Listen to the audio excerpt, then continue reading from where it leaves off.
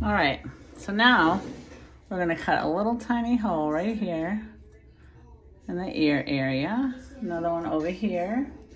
You can do it one hand. And then, gonna pull it up over the ear, like so. Get that over my earring there. Same thing for this side.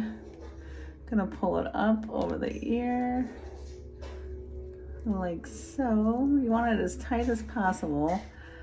I put four layers of this spray gel. It's like glue, so it holds this down. All right, so after you do that, then you're just gonna cut.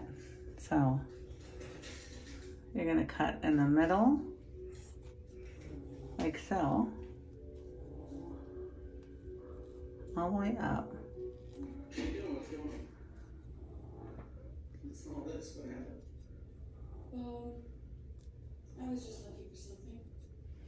All right, and then you're just gonna trim all the way around and get as close to the hairline as possible. So you have to go around a couple of times.